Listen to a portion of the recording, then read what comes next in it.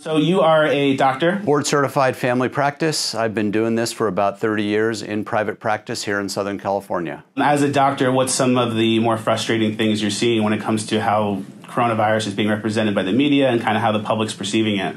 Well, I think most importantly is that the perspective that I have, that I've put out there, that many of your um, viewers have seen, is not being put out there. So anytime there's a narrative that isn't right in line with the mainstream narrative, it's either not shown, it's banned or blocked or viciously attacked. And that's really the problem I have. It's not so much that my perspective is right, although I think it is. It's that I'm attacked for having a different position. And I don't mean my ideas are attacked. I mean me personally am attacked. That I should lose my license, uh, that uh, you know a few people have said on social media they hope I get the virus and die so my voice is no longer heard. That I'm being irresponsible. That somebody should call the medical board, my local hospital, and so forth. So it's not about saying my perspective is incorrect and attacking my viewpoint, but it's attacking me personally and then bringing in my family as well to that, which I think is just ridiculous. What were some of the opinions you had that differed from the mainstream narrative? The lockdown that we're uh, in the midst of, we're in Orange County now, and our governor here in California has basically shut down the state. The original narrative was we need to flatten the curve.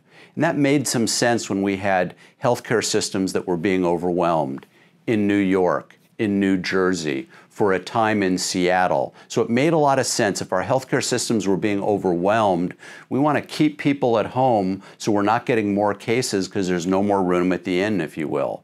But now across the country, including here in Orange County in California, our healthcare systems have plenty of capacity.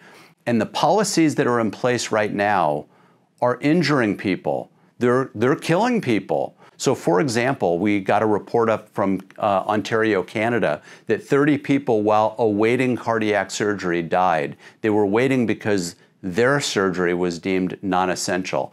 I have patients that need surgery joint replacement surgery, for example, things that are causing them a lot of disability and pain, yet they're being told that they're not essential, so they need to continue to take their narcotics. They need to continue to have their joints be even more worn out and be in a lot of pain. And so the policies that we have in place right now are really harming people. Suicide rate is the highest we've seen it since the Great Depression. We have over 30 million Americans that have purposely been, been put on um, unemployment because of the economic shutdown. Drug abuse is high, spousal abuse, child abuse, domestic violence, mental health problems. Our own local sheriff, uh, Don Barnes, has reported that our 911 system is being overwhelmed by domestic violence calls. So the policies initially were tolerable and they made sense logically quiet the cases down, our healthcare systems are being overwhelmed. But now we're creating government dependency like we've never seen before because of the unemployment. And that's the message that's not getting out. The message that is getting out is the mainstream narrative. The government is here to, uh, to, to keep you safe. We know best from a government standpoint. Individual liberty, individual risk assessment, be damned that we know what's right for you and you stay inside. Can't use the beaches, public parks are closed. And some of these things are quite arbitrary and capricious. So, for example, here in California, we're told felons need to be let out of jail because they're being exposed to COVID virus. But at the same time, individual citizens are not allowed to exercise their Second Amendment right by going to a gun store to purchase a firearm because, because gun stores are closed down. Essential businesses are marijuana dispensaries. Essential businesses are liquor stores. Non essential, if you want to go to church on a Sunday, you're not allowed to do that, even with social distancing. So we've got our priorities backwards, and some of these restrictions seem quite arbitrary. They don't make sense, and I think they're an overstep of our constitutional rights. I don't want to give motives to the politicians that are working hard, and I think they legitimately are trying to do what they think is in their best interest. Um, but when, when some of these um, decisions are made and they appear quite arbitrary, you almost wonder if there's some political gain that is being looked at to be had, especially during an election year. I've heard a lot of politicians and media pundits say that this may be, um, you know, President Trump's Katrina, if you will, that they almost, they almost, it almost feels like they're rooting for this virus to cause President Trump not to be reelected. And there's this political divide that is just completely unnecessary. Healthcare is not politics, and it shouldn't be about politics. It should be about what is the, in the best interest of the country, what is in the best interest of individuals, and balance that with our constitutional rights. And unfortunately, I just don't think that's being done. Gavin Newsom just signed an executive order that makes California a vote by mail state giving all the citizens uh, mail in ballots. Do you think voting booths are unsafe during this coronavirus pandemic? So we're good waiting in line to go to Costco or go to Walmart, but we're not okay waiting in line to go cast a ballot. Our fundamental constitutional rights of voting. So it's too dangerous for us to do that, but it's not too dangerous for us to go to a marijuana dispensary, a liquor store, or Costco. You know, I'm not saying that that Governor Newsom has purposely done this from the standpoint of trying to alter an election. I don't want to believe that. Boy, I just don't want to believe that. I just think he's making decisions in a vacuum without a clear perspective and differences of opinion for him to make that decision. But it just doesn't seem right when we can't wait in line to vote, but we can wait in line to go to a marijuana dispensary or a Costco or a liquor store or you name it. When elective surgeries are deemed uh, inaccessible, but elective abortions are considered to be okay, that doesn't make sense to me. There's no consistency, and these decisions just are being made, in my opinion, in a capricious and arbitrary way. Have you treated patients with COVID 19? Multiple. Um, what were the experiences you had there? So, my patients have all had mild symptoms or have tested positive but didn't have symptoms. I've spoken to doctors, a lot of them that have treated COVID 19 patients. And especially early on, the treatment protocols are pretty straightforward. But again, now we've made treatment of COVID 19 a political issue. So, hydroxychloroquine, for example, is found to be very safe, effective, cheap, uh, and readily available now. Yet, to prescribe it, like nothing else that I've ever done, we routinely, as physicians, prescribe medications off label all the time. That's just what we do. We use our best judgment and clinical experience, and we use medications that maybe it wasn't approved for initially by the FDA, but we found to be effective, so we use it. Common practice. But if I use hydroxychloroquine now and I write a prescription, not uncommonly I'll get a phone call from the pharmacy for me to justify why I'm prescribing this medication. I've never had this happen in my 30 plus year years you write all kinds of prescriptions. You never had someone really question and come back. Never. Nope. Never. But now every time I write it, I get a response back to justify why. Either the patient is sick and they meet a certain protocol, they're of a particular age, or this, that, and the other. I've never seen that before. And I know, uh, I know that this, this drug is being used throughout the country successfully and safely, um, yet it's now a political drug because a few months ago, can't remember how long ago now, every day just seems like, you know, a year, but maybe a month and a half ago, President Trump said on public TV, I remember I was driving to work, listening to the news, one of the press conferences, and I heard him say it. And immediately when I heard him say something about hydroxychloroquine, I said, oh boy, here we go. How long is it going to be? Since till my phone blows up, till I start getting emails from patients, and sure enough, by the time I got to the office, I had already received emails inquiring about hydroxychloroquine.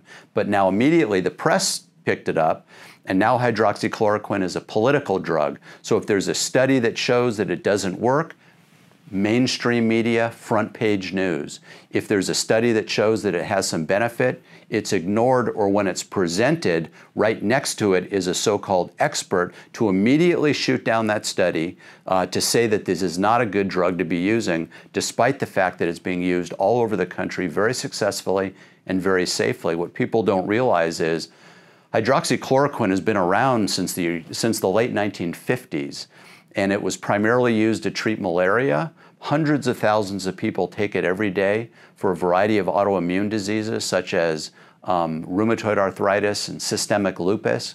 and they use it safely and it's very effective. Yet I'm told that a similar dose for a seven day course is somehow dangerous and that I shouldn't be using it. And I think that's ridiculous. Now, maybe it's not as effective as some of us believe. I get that. But my right as a physician to make, in my judgment, what is best for my patient at the moment in consultation with proper um, information to that patient about the risks and benefits, um, now that's being blocked or at least inhibited. And I don't think that's right. And hydroxychloroquine works in your experience? My experience, it works. Not only works to treat mild disease, when mixed with um, uh, a Z-Pak or azithromycin and zinc, but also can be effective in preventing disease. So if you have an older person that's been exposed but hasn't caught the virus, um, I've seen studies and I have experience in treating that person to prevent them from converting and prevent them from getting ill. And there are a lot of people who are grabbing onto this idea that if all this shutdown and everything saves just one life, then it'll be worth it. Yes. But what's the things that they're missing? What else is going on behind the scenes that we're not really aware of? You know, that's a great question. And I, and I resonate with that. If we can only save one lives, better safe than sorry. As a matter of fact, I wrote a piece with that title, Better Safe Than Sorry, question mark, was published in uh, uh, uh, The American Thinker. And the issue is we're not better safe than sorry because the sorry part is happening right now. So the sorry part is 30 million more, 30 million plus people that are unemployed and now dependent upon government. The sorry part now is the highest suicide rate that we've seen. So we may save one person who doesn't get coronavirus, but the other person who now is depressed and can't feed their family, uh, can't pay the rent, um, and literally is committing suicide, that's a problem. Delayed surgeries, we don't even know the consequences of that. So we have people that are dying because of delayed surgery, that are being permanently affected, their condition because their surgeries have been delayed now, one month, two months, sometimes longer, and worse. Not to mention one case of child abuse because of um, the quarantine or domestic violence, one case that's a case that's going to live with that person the rest of their lives. And so it shouldn't be taken lightly. Well, I don't want to die of coronavirus, um, so let's just stay quarantined. Um, you can always fix an economic problem, but a death from coronavirus you can never fix. I get that narrative, but at some point we need to realize that the continued lockdown is going to have consequences beyond what we could ever imagine. I mean, this is Great Depression level unemployment. And we turn the switch back on to turn the economy, a lot of these unemployed people are not going back to work because their jobs no longer exist. Small businesses, restaurants, even large businesses. I heard Neiman Marcus is finally shuttering up. They are going out of business because they were on the brink and this just put them over the edge. And there's other businesses like that. So these are thousands and thousands of workers that are not going to have jobs to come back to. Um, so it's not just a temporary unemployment. We're creating a permanent or at least long lasting unemployment uh, class. Here's my belief listen, we have rules in this country, and we have, the, we have a constitution that is supposed to restrain the government and provide maximum liberty. I believe in people more than I believe in the government, and I believe in individual liberty and risk assessment. So I want to give each individual their own opportunity to make a decision as to what's best for their life with information.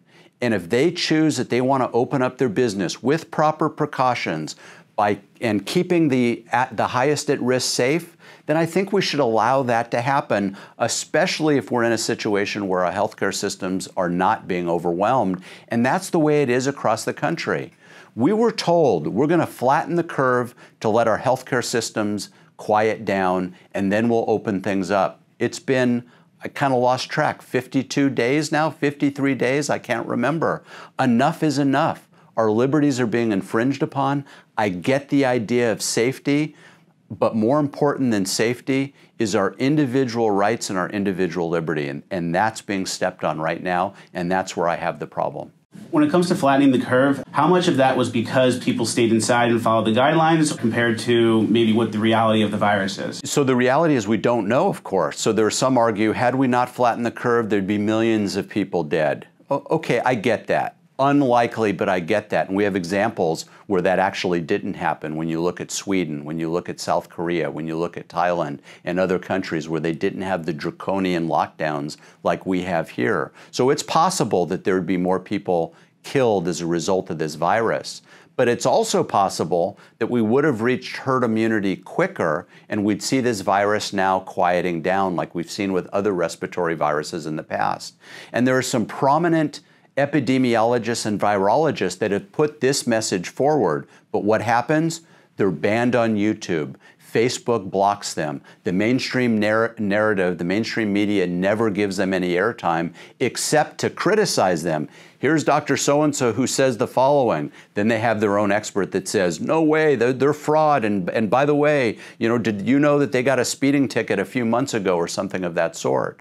So there's this narrative that's going forward, and I'm not sure why. I don't want to believe malintent from a motive standpoint, but it's hard not to believe that some on the left in the mainstream media really hope that we can continue this on long enough to unelect our president. And I'm sorry to say that, but I think there's some there's some truth to that. I don't want to believe that politicians and decision makers have that perspective, but I think some of them lean in that direction where they're not entirely disappointed that this mainstream scare is going on uh, to the extent that it that it, that it hurts uh, President Trump. I've heard that some doctors are over attributing COVID 19 as the cause of death with a lot of their patients. Are doctors motivated to get as many COVID 19 patients as possible so they can receive federal funds? So I don't want to say they're motivated to, but there are incentives in place, and the incentives are based on good motives, meaning that if a hospital system is overwhelmed because we're treating patients with this virus, then we're going to reimburse them at a higher rate to make up for some of the work and difficulty and trauma that they've been experiencing by taking care of these patients. So there are mechanisms in place to reimburse hospitals, but the only way they can track that is by tracking the number of COVID 19 patients and the number of deaths that are associated with COVID 19 patients. So, what we do see is happening is, um, is patients that die but without a laboratory diagnosis, they're getting coded COVID 19. And there's this natural human tendency to lean in the direction of something that is economically benefiting their healthcare system. When I code, um, uh, on our electronic medical record systems. There are coding for COVID-19, and uh, the, the, the, the, organizations that provide these coatings, um, you know, let us know what the what the what the cost and benefit is for for making these codes. So I don't want to say there's dishonest doctors out there that are doing this purposely. I'm sure there's some of that, but there's this natural tendency to lean in the direction and code in a way that will ensure higher reimbursements for a healthcare system that's overwhelmed. So like every COVID death every COVID death a person had COVID, not every COVID death is from COVID. Correct, that's right. So, going forward with all of this, what would your plan of action be if you were in charge? I'm still waiting for the phone call from Governor Newsom. Uh, hasn't come yet. Um, but if I were in charge, I'd look individually at the local healthcare systems. I would put as much decision making power into the hands of the local politicians, City of Newport Beach, the City of Huntington Beach, um, et cetera, and let them make decisions for their locality. I know here in Orange County, a lot of the a lot of the cities are coming together to lobby Governor Newsom um, to allow Orange County to open up the reason why they're not doing this themselves and just saying, we don't care what the governor says, is the governor has literally threatened Orange County with cutting off of state funds if they go against his recommendation. So the supervisors in the cities have been very hesitant to do anything because they don't want their funds cut off, but they're organizing to try to lobby and negotiate with the governor. So if it were up to me, I would allow local municipalities to make their own decisions based on the capacity in their local healthcare systems. As much local governance as possible, as much individual liberty and responsibility as possible as well. Masks, effective, not effective? Not as effective as we're led to believe. So, first of all, as I walk around and I see people with these cloth masks on, um, or even regular masks on. If you're not used to wearing a mask, there's a tendency to touch it, to adjust it, to scratch your nose. They're uncomfortable. And immediately, as soon as you start doing that, you remove any protective benefit from that mask. I've had asked to me, well, what if I'm sick? shouldn't I have a mask on? Because won't that prevent the droplet spread of me to infect somebody else? Theoretically, yes, but the problem with that is there's very little evidence that there's this crop dusting occurrence where I'm walking around, I have no symptoms, um, yet I'm spraying virus everybody for other people to get infected. As a matter of fact, there were some studies done in New York that showed the vast majority, I think it was about 67 to 70% of people that catch this virus do so indoors in their own home, not out in public. And so, um, and so wearing a mask, not only is it uncomfortable, I read an article, I posted it the other day about a guy wearing an N95 mask and crashed his car because it was so uncomfortable and distracting. And I see people out there jogging with a mask on.